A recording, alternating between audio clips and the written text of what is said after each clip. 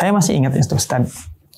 Uh, Ustadz sudah jadi anggota dewan dan rumah itu Ustaz, yang di panorama Iya. waktu itu itu Ustadz mau ganti pintu rumah itu sampai saya ke rumah itu kondisi pintunya bobrok gitu Ustaz. Iya. Itu lama sekali nggak diganti gitu. Ini Iya. Saya sampai sempat berujar ya dalam hati. Ah. Ini anggota dewan gitu. Ah. Masa sih nggak masa sih nggak mampu gitu beli beli pintu gitu.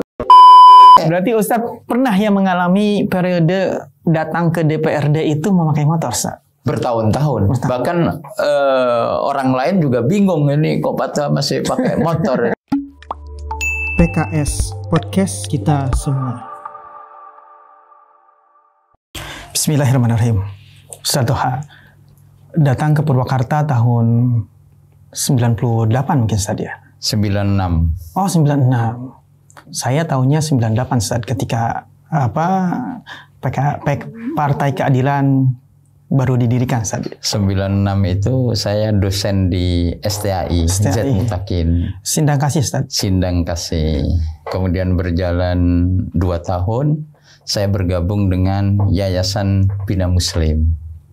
98 Ustaz. Nah, saat bergabung dengan Yayasan Bina Muslim itulah kemudian sedang terjadi reformasi. Betul. Ya, jadi 98 itu peristiwa itu. Eh, langsung kalau tidak salah Ustadz menempati sebuah rumah di Sindang Kasih tadi ya, agak melipir di jalan apa Mayor Kosim atau di situ tadi. Nah. Jadi tidak di pinggir jalan banget. Nah, itu sebenarnya sinergis. Ketika itu saya bersama keluarga, kebetulan biasa kontraktor gitu, Itu masih ngontrak kan? ngontrak. Nah, teman-teman yayasan itu mengamanai saya untuk jadi ketua yayasan. Bina Muslim yang tadi itu ya Ustadz. Karena tahu bahwa ketua yayasannya nggak punya rumah, akhirnya dikontrakkan di kantor yayasan Bina Muslim itu.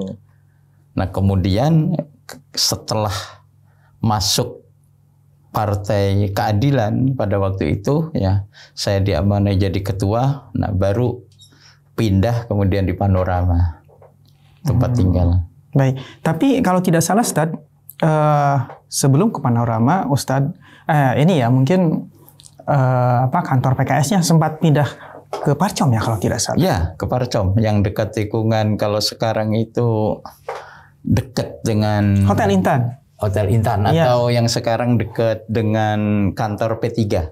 Betul. Nah, itu waktu itu PK cuma berapa? Awal-awal satu kursi itu waktu itu. Ada Ustaz. cerita sedikit ya ketika saya berjalan-jalan sama teman-teman P3 itu sempat diledekin juga. Pas lewat satu mobil dengan memperlihatkan ini loh kantor P3 udah bagus dan sebagainya. Hmm. Udah selesai. Sementara PK ketika itu masih ngontrak. Yang di rumah Ustadz itu ya, yang di Bukan yang, di sebelahnya, ah, ah, yang di Parcom. Nah Betul. itu satu mobil itu ada orang PBB, ada dari PAN, ada dari PKB itu. Saya ketika ditanya begitu, kenapa itu PK kok belum atau sekarang PKS belum punya sekretariat kok masih ngontrak tuh lihat tuh kantor P3 katanya sangat bagus. Saya balik bertanya, justru saya itu heran kenapa P3 baru sekarang punya kantor padahal sudah puluhan tahun berdiri gitu. iya, betul. Saya juga heran dari dulu uang partai itu untuk apa aja saya gituin kok baru sekarang bikin kantor. Ustadz, balik lagi ke tadi Ustadz, yang apa waktu Ustadz di katakanlah dikontrakin sama teman-teman seperjuangan waktu itu Ustadz ya, Iya. rumah. Iya. Ah, Ustadz masih ingat nggak itu eh, kontrakannya nominalnya berapa Ustadz waktu itu? Saya pada waktu itu malah nggak tahu harganya saya, tinggal nempatin aja sama teman-teman yang menyelesaikan kontrakan yang di Parcom ya, bukan yang sekretariat. Kalau nominal kontrakan sekretariat saya udah lupa itu berapa itu. Ustadz sebelum 96 itu Ustadz bisa cerita nggak Ustadz dari mana saja itu? Eh, saya mengetahui sedikit Ustadz eh, besar dan tumbuh di Lamongan. Iya, Nah terus kemudian kuliah di IAIN ya Ustadz ya. iya, IAIN Bandung. Nah, itu Ustadz waktu itu apa sih pertimbangannya datang ke Purwakarta Ustaz gitu kan? Saya pada waktu itu istri kebetulan Dinas di Purwakarta. dinas di Purwakarta di pengadilan agama. Nah yang sekarang termasuk sedang hangat-hangatnya Ane Bupati Purwakarta itu saya tahu semua itu beritanya tapi nggak pernah cerita ke siapa pun. Saya kalau ditanya orang tahu nggak Pak Toha mengenai cerita Bupati bla bla begitu. Oh tahu saya kan dia mancing karena istri saya ada di pengadilan agama. Cuma sayangnya satu katanya. Kenapa? Berita itu nggak boleh diceritakan kepada orang lain. Jadi sampai sekarang saya nggak pernah cerita. Jadi waktu itu ibu memang kalau Di tidak salah pengadilan agama. dari Subang tadi ya. Iya dari Subang. Subang. Kelahiran Kerawang. pindah ke eh, Purwakarta sudah punya putra Ustaz. Waktu itu purta- pertama Irfan itu lahir tahun 95. 95 berarti Iya. usia 2 tahun atau tiga tahun tadi ya. Ya, tiga tahun ya, saya saling bergantian dengan ada pengasuh. Saya dosen STAI. Ustadz waktu itu jadi PNS atau tidak? Ya kalau jadi PNS nggak boleh masuk partai. Berarti memang Ustadz memang sudah tidak eh, tidak masuk ke wilayah itu Ustadz. Nggak minum wilayah itu. Jadi sudah memutuskan ya sudah ngurus yayasan bersama dengan teman-teman, kemudian mengajar di STAI, kemudian mengajar di tempat-tempat lain, misalnya di Indosat atau di tempat perumahan-perumahan, kadang di apa ya pada waktu itu perumahan nggak terlampau banyak, masih baru Gerasri, Gria kemudian. Gria. Mukti, kemudian Dian Anyar, Iya. bahkan teman-teman di Yayasan Bina Muslim pada waktu itu sudah mulai berpikir nih, kita itu gimana caranya supaya dakwah melalui Yayasan Bina Muslim ini supaya lebih besar. Akhirnya muncul di situ ada dua opsi teman-teman itu. Opsi pertama, apakah kita seluruh pengurus ini ngambil di satu perumahan, satu tempat aja, misalnya Mukti semua atau Giro Asri semua. Pada waktu itu panorama belum dibangun, masih dalam proses. Tapi pemesanan-pemesanan itu sudah sudah berjalan. Dimulai. Apakah mau begitu? Nanti kita bikin komunitas, tetangganya kita, kita juga membuat kebaikan-kebaikan lingkungan di situ. Nah, atau kita yang berempat, ya, saya pada waktu itu berempat ya, dan sekarang ada sebagian sudah pindah di apa provinsi Banten, Ustadz Iskandar Durkanen. Iskandar Nah, Durkanen. Pernah menjabat sebagai ketua DPD juga. Ustadz. Ya, itu gantian. Ya. Kemudian akhirnya disepakati, udahlah kita Bismillah aja. Dari sekian orang ini disebar aja. Ada yang di Gera Asri satu, ada yang di Gera Mukti satu, Dian Anyar satu. Nah, saya kebagian di panorama. Jadi saya diam di panorama ini sejak panorama berdiri. Memang by design ya tadi ya, Ya, waktu ya, itu. dan pada waktu itu kita Bismillah aja dibagi masing-masing setiap perumahan diisi satu kader gitu. Ustadz, eh, 98 Pek Partai Keadilan. Sama sekali waktu itu belum mengenal iklim partai Ustadz. Terus di kota kecil. Ya, Ustadz berasal dari apa? Dari dari Subang dan kemudian mendampingi istri. Ustadz ditunjuk menjadi ketua partai waktu itu. ya.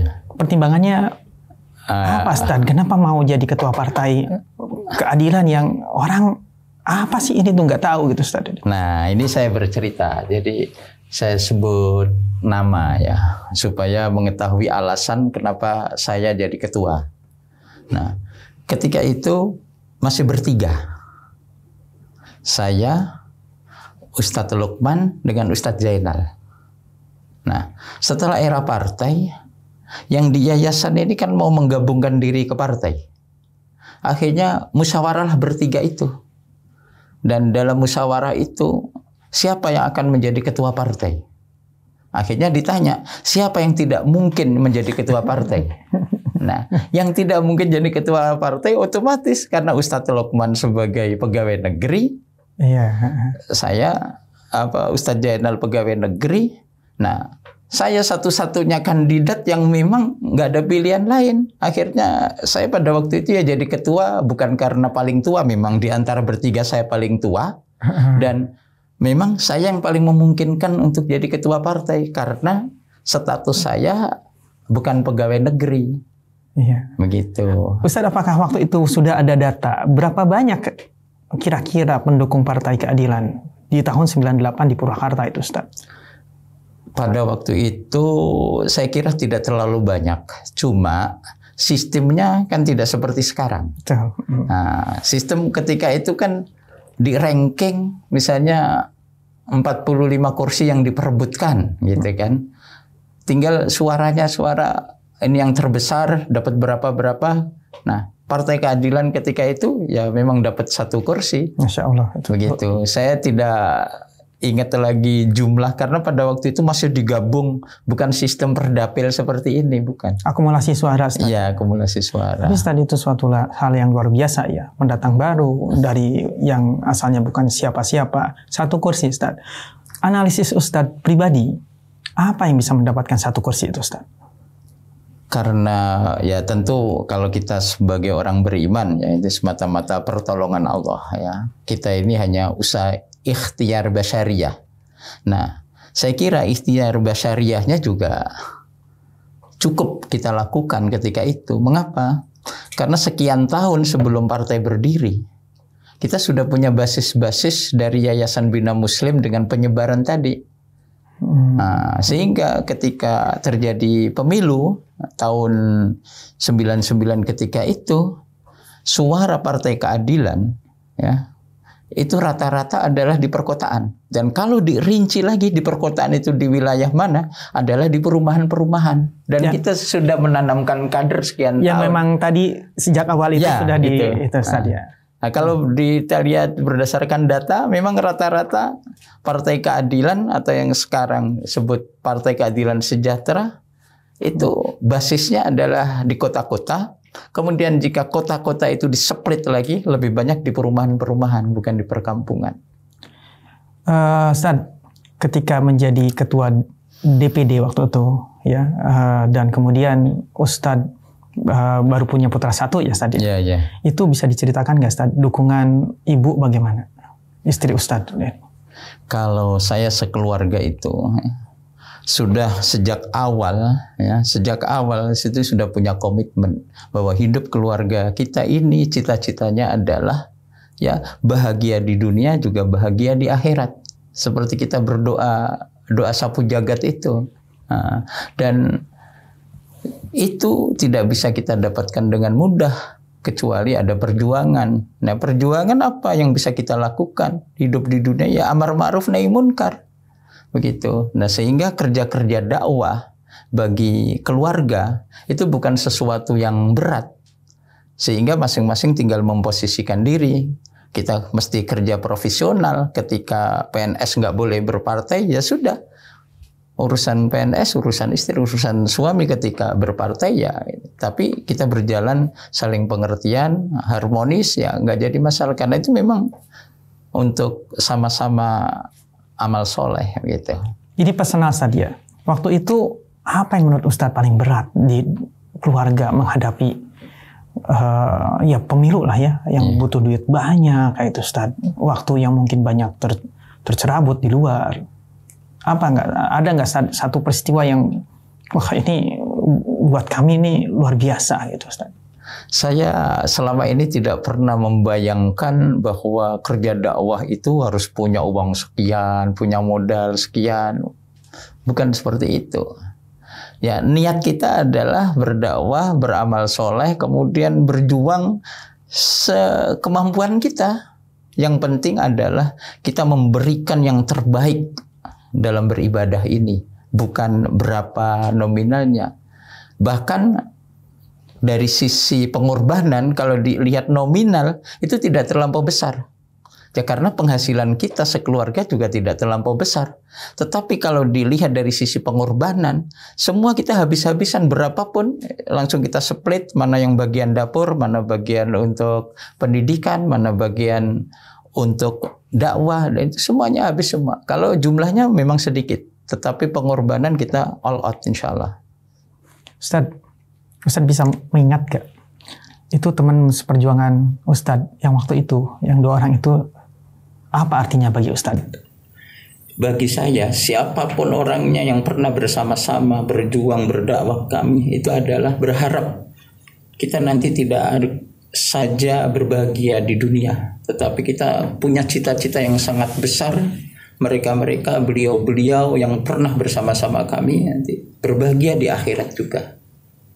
Itu bagi kita semuanya adalah saudara, semuanya adalah guru, saling saling mengisi kekurangan-kekurangan, saling memberikan kelebihan-kelebihannya. Pernah ada kelas nggak gitu Ustaz? Misalnya saya nggak setuju dengan Anda gitu atau Anda saya Anda nggak setuju dengan saya atau gitu Ustaz. Semacam itu ada nggak? Uh, saya kira itu udah biasa. Tetapi kelas kita itu bukan dibayangkan seperti kelasnya orang lain kemudian runcing tidak sapa menyapa tidak pernah. Kami sudah terbiasa bahkan ketika bertiga itu pernah terjadi berbeda pendapat.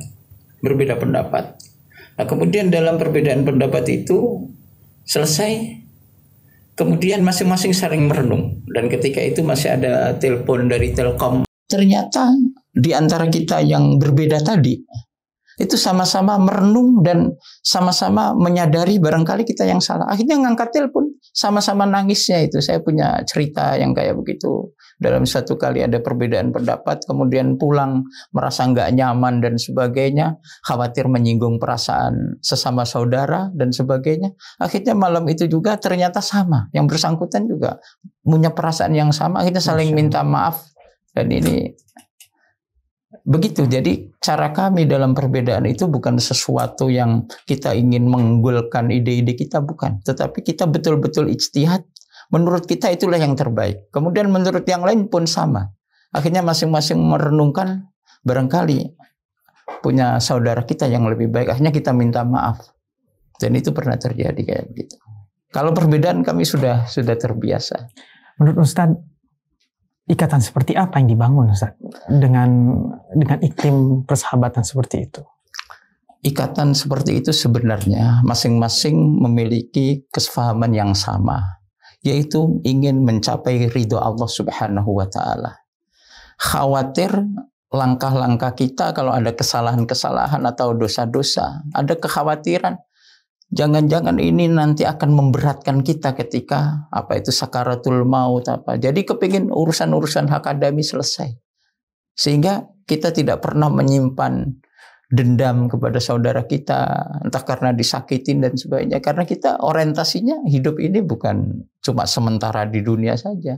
Begitu juga di dalam persaudaraan dengan teman-teman dan sebagainya. Saya tidak pernah merasa ini banyak kepentingan, ini itu dan sebagainya bukan. Tapi kita punya cita-cita yang sama, yaitu tadi bahagia di dunia juga bahagia di akhirat. Sehingga urusan dunia itu jangan dianggap terlampau besar, biasa-biasa saja. Masya Allah.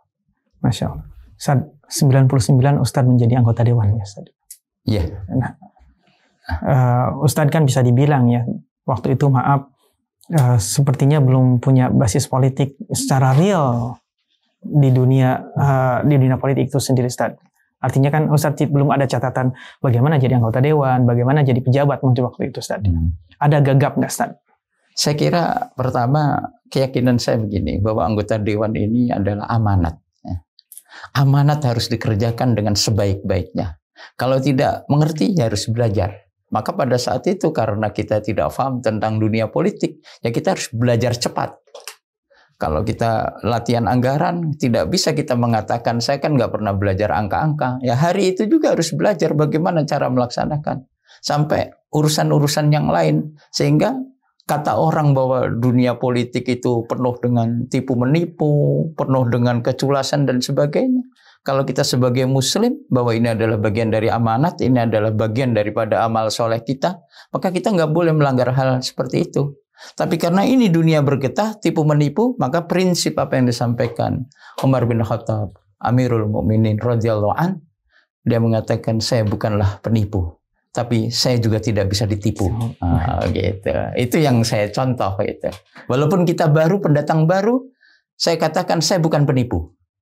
Tapi saya juga tidak bisa ditipu. Maka kita harus belajar juga bagaimana cara mereka bernipu. Baik. Uh, apa ini pertanyaan boleh nggak dijawab saja. Jadi Ustaz boleh skip pedihnya. Uh, Ustaz pernah nggak mengalami satu peristiwa ketika jadi anggota dewan itu yang katakanlah tadi ini dunia tipu menipu ah lo nipu gua gitu tapi gua nggak bisa ditipu nah hmm. Ustaz pernah mengalami hal seperti itu enggak yang seperti itu bagi saya sudah sering terjadi bukan sekali dua kali ya misalnya dalam hal uh, satu komisi pemilihan pimpinan gitu ya misalnya hmm. dia mengatakan yuk kita milih si fulan aja nanti kita sepakat ya itu sudah dihitung satu, dua, tiga, kan kita sudah sepakat. Nah, hmm. ternyata setelah dihitung karena pemilihan itu tertutup, dihitung jumlahnya tidak sebanyak yang kita sepakat. Nah, itu kan penipuan. Bahkan bukan hanya sekedar jumlah. Tetapi yang disepakati nama yang bersangkutan itu bisa berubah. Nah, bukan menipu cara cepat itu. Itu yang baru kelihatan. Ustaz kaget nggak saat pas pertama kali mendapati hal seperti itu? Saya pada waktu itu saya sudah menyiapkan diri. Ketika orang masuk wilayah DPRD ya, dalam hal ini legislatif, itu saya mengumpamakan bukan seperti orang mau masuk masjid. Nah, kalau orang mau masuk masjid biasanya pakai baju bersih, baju koko atau baju-baju yang memang kelihatan bersih sehingga suatu ketika ketika dia kotor itu sebuah aib kalau kita berpikir masuk masjid. Tapi saya berpikirnya saya ini sedang kerja bakti bersihin got gitu. Tugas saya adalah seperti itu. Yang dibilang orang bahwa dunia partai, dunia legislatif itu adalah penuh dengan kekotoran, maka tugas saya bagikan tadi bersihin got sehingga ketika saya berkotor-kotor sedikit dalam pengertian karena bersihin got tadi yang penting kita tetap menjaga tugas kita adalah membersihkan gitu. Kotor-kotor dikit ya itu sebagai resiko. Makanya kalau ada sebuah lembaga ini jelek, ini jelek dan sebagainya, kita ingat bahwa beramal itu semata-mata mengharap pahala dari Allah. Kalau kita di mata Allah menurut Allah itu baik, saya kira hiraukan menurut manusia fitnah-fitnah dan sebagainya sepanjang Allah itu ridho dengan kita. Ustaz Hamasun, apa bedanya sebelum dan sesudah menjadi anggota dewan? Saya kira hidup itu bagi kita tidak ada bedanya. Yang membedakan itu adalah ketika amanat itu diberikan di pundak kita semakin berat amanat itu, ya, maka hidup ya seberat dengan sesuai dengan amanah itu sendiri. Nah, tugas kita adalah menyelesaikan amanat-amanat itu.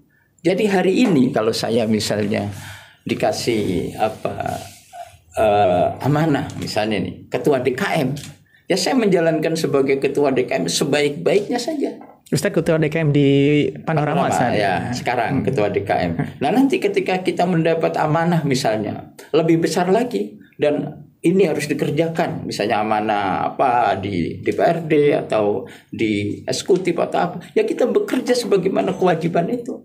Itulah yang membedakan besar kecilnya seseorang. Ya kita harus bekerja sesuai dengan besar kecilnya amanah. Yang penting adalah pertanggungjawaban apa yang kita lakukan ini di hadapan Allah sesuai dengan amanah itu.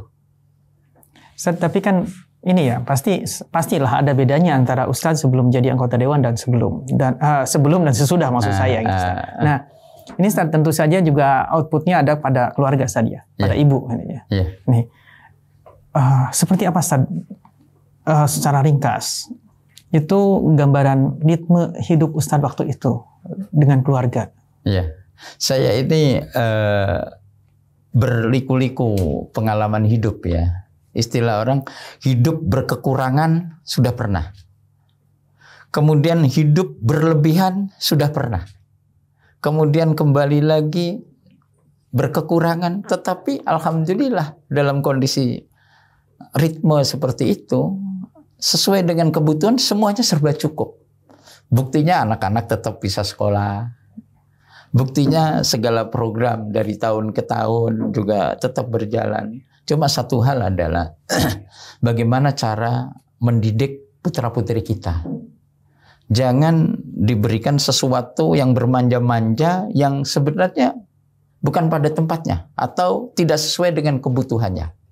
Atau misal karena kita ini punya apa rezeki yang berlebih, kemudian jajan anak itu dikasih berlebih pula. Waktu itu berarti Irfan usia sekitar 5 atau 6 tahun saja. Ya, lima tahun tahun. Ketika orang lain misalnya, ini mohon maaf saya sampai nyebut misalnya orang lain ada anaknya datang ke kantor dewan misalnya ya. Dikasih jajan, ketika itu untuk seusia anak kecil uang 50 atau 100 ribu itu sudah cukup Gede besar, lah. udah gede banget saat itu. Tapi bagi saya sekeluarga kita memberikan jajan anak atau memberikan uang anak dan sebagainya ya sesuai dengan kebutuhan. Kalau memang butuhnya untuk jajan berapa bakso harganya ya sudah sesuai. Hari ini mau apa semua dipenuhin. Nah tapi saat-saat tertentu ketika memang yang dibutuhkan itu adalah sesuatu yang mahal, misalnya laptop atau apa, ya juga kita penuhi juga. Hmm. Kalau memang itu adalah berbasis kebutuhan. Jadi kita bukan berbasis keinginan.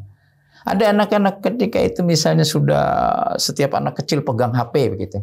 Tapi kami cara mendidik memang ini belum waktunya dibelikan. Walaupun kita punya uang juga sengaja nggak kita beli Hmm. dalam rangka menyelamatkan pendidikan anak-anak. Jadi anak jangan sampai mereka berbangga-bangga ini loh. Saya anaknya pejabat, banyak duitnya, banyak semuanya terpenuhi. Saya nggak ingin seperti itu. Biarlah mereka besar alami sesuai dengan keadaan yang bersangkutan. Sehingga suatu ketika terjadi perubahan-perubahan pada orang tua, itu tidak ada pengaruhnya sama sekali dengan anak-anak. Karena hidupnya sederhana. Hmm. Begitu. Itu uh, sedikit gambaran bagaimana kondisi keluarga ya. Ustaz, gimana sih Ustaz ngam, eh, caranya eh, ngambil family time dengan keluarga Ustaz waktu itu dengan kan bisa dikatakan ya anggota dewan, ketua DPD, kemudian Ustaz juga banyak berkiprah di ruang publik waktu itu. Iya. Mungkin waktu di rumah tuh sebentar Ustaz. Iya. Nah ini Ustaz si- apa gitu siasat Ustaz untuk bisa dekat dengan keluarga? Ini sebenarnya manajemen waktu saja. Jadi ketika kita melaksanakan tugas, ya kita laksanakan tugas dengan baik. Kalau ternyata tugas itu tidak bisa kita tinggalkan, maka kita pamit dengan keluarga juga dalam keadaan baik. Kalau kita meninggalkan keluarga cukup lama, maka komunikasilah dengan baik melalui handphone, melalui komunikasi-komunikasi yang lain. Tetapi tetap kondisi keluarga, istri, anak-anak dan sebagainya harus dijaga kestabilannya. Jangan pula kita melegitimasi diri. Oh, saya ini kan sibuk nih, biar keluarga tahulah tentang kan nggak begitu juga. Karena itu betapapun itu adalah kewajiban kita. Jadi amanah harus dilaksanakan sesuai dengan amanah itu sendiri penuh dengan keseimbangan. Keluarga tetap berjalan, partai tetap berjalan, dan pada waktu itu kita juga punya yayasan tetap berjalan. Yaitu harus seimbang. Pernah nggak sih Ustaz dapat protes dari anak-anak? Abi kok nggak jarang di rumah gitu nih waktu itu Ustaz.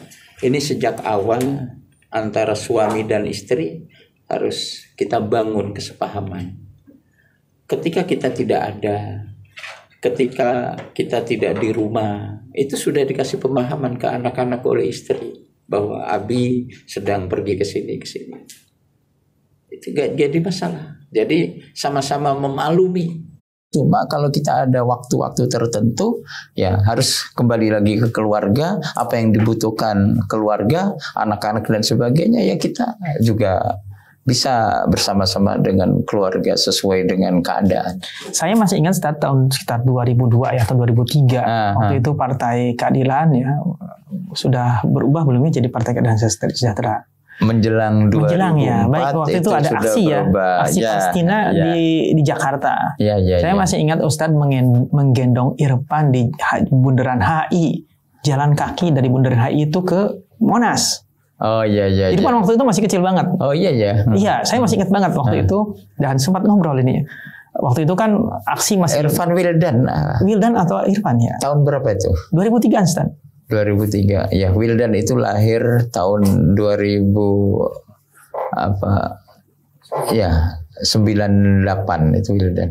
98 mungkin Berarti Wildan usia- ya mungkin adik Ada Iya, dua, ada ya, iya yang satu itu. digendong. iya kayaknya dua-duanya dibawa Iya, juga sih San. karena kan waktu itu eh, apa anak-anak masih boleh di masih dibawa ya Iya, boleh iya. dibawa gitu. Ah, ah. jadi baru setelah ke sini ke sini Ya. itu Kalau ya tahun-tahun itu memang belum ada aturan anak kecil nggak boleh dilibatkan. betul Ah, iya, iya. saya masih ingat banget itu Iya, iya, kemudian apa ya mas eh, kurang begitu ingat juga siapa itu antara Wildan atau Iropan yang Ah, saya ajak dua-duanya ngobrol. itu. Saya masih belum punya anak waktu itu, Stan. Oh iya iya iya. iya.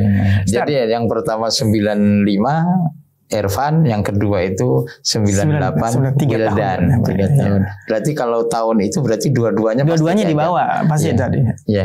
Stan, saya masih ingat itu. Eh, Ustadz sudah jadi anggota dewan dan rumah itu, Stan, yang di panorama Iya. waktu itu, itu Ustadz mau ganti pintu rumah itu sampai saya ke rumah itu kondisi pintunya bobrok gitu, Stan. Iya. itu lama sekali nggak diganti gitu. Ini Iya. Saya sampai sempat berujar ya dalam hati. Ah. Ini anggota dewan gitu. Ah. Masa sih nggak masa sih nggak mampu gitu beli beli pintu gitu. Itu gimana Ustaz bisa diceritain nggak Oh. eh, episode itu Ustaz ininya? Sebenarnya hal-hal begitu saya nggak ingin cerita ya sebenarnya. Cuma karena ini ditanya ya, saya jadi menjawab apa adanya. Jadi ketika kita berkelebihan rizki, Dan itu kalau nggak salah itu pintunya tuh lama banget Ustaz nggak diganti itu. Iya, ya, maksud saya gini. Saya punya prinsip begini. Ketika kita berlebih rizki, ya, memang itu halal buat kita. Mau belanja apa saja, nggak ada larangan. Ya kan? Mau bangun rumah baru juga nggak ada larangan. Memang rezeki itu halal dan punya kita. Cuma satu hal penting bagi kita adalah kita mendapatkan rizki itu melalui atau wasilah siapa? Adalah karena gaji kita sebagai pejabat publik. Dan itu adalah kader partai, ya kan? Sehingga kita bisa mendapatkan keuangan per bulan dan sebagainya itu dari kantor yang di situ adalah hasil jeripayah seluruh kader. Nah, sehingga kalau kita membelanjakan walaupun itu milik sendiri, walaupun itu halal, tapi satu hal yang lebih penting adalah menjaga perasaan para kader itu. Jangan sampai kita sendiri beristilah berenak-enak sendiri, tapi itu menjadi perhatian para kader tuh sejak jadi anggota dewan nih, rumahnya baru, belum apa-apa sudah ganti pintu dan sebagainya dan sebagainya. Walaupun itu halal, tetapi jauh lebih terhormat menjaga perasaan-perasaan itu sehingga prosesnya cukup lama. Mengapa? Saya ingin mengajak teman-teman dulu, saya kasih bukti, baru saya izin, boleh nggak uang saya, gaji saya ini sebagian saya pakai betulin pintu rumah. Betul, Oh, itu mungkin pas saat masih ingat. Pada waktu itu saya musyawarah dulu, khawatir kalau saya tidak musyawarah nanti jadi fitnah di Saya kalangan nggak- kader. Saya nggak nggak nggak tahu itu musyawarahnya Ustaz. Maksudnya Ya. saya tahunya hanya eh, apa rumah itu pintunya sudah sudah tua banget gitu Nah, kan nggak akhirnya oleh teman-teman itu begini diizinkan tapi nanti tolong ya kalau ada fitnah yang terjadi di masyarakat ini baru anggota dewan aja udah ganti pintu, ganti rumah, ganti apa. Udah biar saya nanti yang menjelaskan gitu teman-teman. Jadi saya tidak perlu lagi menjelaskan ke para kader kenapa ganti pintu, kenapa ganti jendela. Ya karena saya tadi menjaga perasaan para kader itu jauh lebih penting dibanding belanja itu sendiri. Ustadz mohon maaf ya, saya eh, agak balik lagi lagi Ustadz ya. Ah. Tapi ketika itu Ustadz sudah jadi seorang anggota dewan. Saya kan punya motor nih, belum punya mobil waktu itu. Saya ingat tuh mobil Ustadz pertama itu adalah Kijang kalau tidak salah. F dari oh Bogor. iya, iya itu dari dari kakak. Dari kakak kan ini. Iya iya dari Ustadz. kakak. Nah, itu mobilnya itu kayaknya tuh Ustadz ya. Dan motor Ustadz saya pernah pinjam motor Ustadz itu satu pekan pas mau menikah saya. Oh iya masih ingat. Saya yang minjemin udah Eh, lupa. itu Ustadz, saya ingat ininya. Bahkan waktu itu saya motor Ustadz itu ditabrak orang Ustadz ya. Saya kan udah bilang ke Ustadz. Lalu Ustadznya udah biar saya memang mau ganti spion. Spionnya kan rusak gitu. Waduh, Ustadz bilang, saya. udah bilang, inget saya. Ustadz bilang, Pas saat- memang udah mau mau di saya ganti ini. Saya jadi malu waktu itu Ustadz. Nah, terus kemudian eh, apa? motor pernah saya pinjam, mobil juga yang mengantarkan saya waktu nikah, Ustaz. Ustaz waktu itu Ustaz ya, dari seorang yang nggak punya, kemudian punya, dan itu juga kijangnya waktu itu nggak nggak oke-oke banget lah, maksudnya kijangnya sudah agak lama itu ya. Saya nggak tahu itu 94 atau 95 itu keluaran. Uh, uh, uh, itu pendekatan Ustaz terhadap rezeki harta yang datang ke rumah itu gimana Ustaz? Saya itu punya prinsip begini Pak Saad ya. Harta, jiwa, dan sebagainya yang kita miliki sarana prasarana di dunia ini. Kalau kita tidak konversi menjadi amal soleh, maka kita akan rugi. Contoh, kita punya mobil. Kalau selama ini kita pakai terus menerus, tidak pernah mobil itu digunakan amal soleh untuk berbuat baik kepada orang lain. Saya termasuk rugi. Kenapa? Ketika saya pakai, udah selesai, nggak ada nilai-nilai pahala yang bisa mengalir setelah saya meninggal. Dan setelah saya selesai, selesai. Tetapi kalau itu saya konversi bahwa mobil ini pernah menjadi saksi, menolong si fulan, menolong si fulan, menolong si fulan, maka kebaikan-kebaikan saya itu dengan adanya mobil itu terus mengalir pahala-pahalanya. Begitu juga dengan rezeki-rezeki yang kalau tidak kita konversi menjadi amal soleh, itu kita akan rugi, akan berhenti hidup di dunia, ya berhenti juga amal kita. Saya sampai ingat saat itu, maksud bukan sampai ingat ya, sampai nggak hafal gitu. Siapa nih yang sudah pernah pakai mobil ini teman-teman saya waktu itu Ustaz? Saya itu suka nawarin ke teman-teman. Saya juga menyadari, saya sebelum anggota dewan juga merasakan yang sama. Dipinjemin motor untuk sosialisasi, untuk kerja-kerja dakwah, mengajar dan sebagainya. Pak Ismono ingat, yang di Giremukti. Itu motor yang Suzuki dikira saya apa ganti knalpot yang bunyinya berisik itu ya karena memang itu satu-satunya motor yang yang boleh dipakai Berarti Ustadz pernah ya mengalami periode datang ke DPRD itu memakai motor, Ustaz? bertahun-tahun. Bahkan eh, orang lain juga bingung ini kok Pata masih pakai motor itu. Pak malahan saya ketika itu dapat motor dinas yang Win itu. Ha. Nah, tahu tahu Ustaz. Belum ingat. punya mobil saya. Iya. Itu kan Ustadz pernah ini ya. Waktu ke rumah Apa? saya pernah ini terus Ustadz menunjukkan ini kanebo nih. Ah. Ini saya baru beli kanebonya lah ya, dulu. bercanda. Beberapa bulan lagi saya pasti mau beli mobil ini. Ternyata di, dikabulkan. Eh, itu bercanda. Kalau mau beli mobil itu kayaknya karena nggak bisa beli ya udahlah beli kaneponya ada lu lebih Bismillah aja dari yang kecil. Jadi saya merasakan bagaimana nikmatnya perasaan kita betapa senangnya ketika ditolong oleh orang.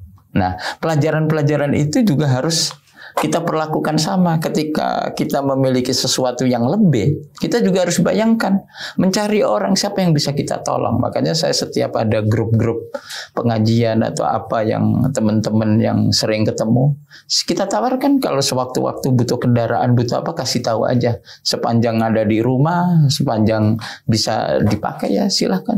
Saya udah nggak lagi berpikir bahwa mobil itu adalah pasti untuk sendiri nggak pernah berpikir begitu Sampai hari ini juga kalau ada orang yang pinjam selama itu mobil ada saya persilahkan aja karena saya itu tadi ingin segala apa yang ada di dunia ini gimana caranya dikonversi menjadi amal soleh itu yang ketika sudah meninggal ini terus mengalir gitu Pak Saad.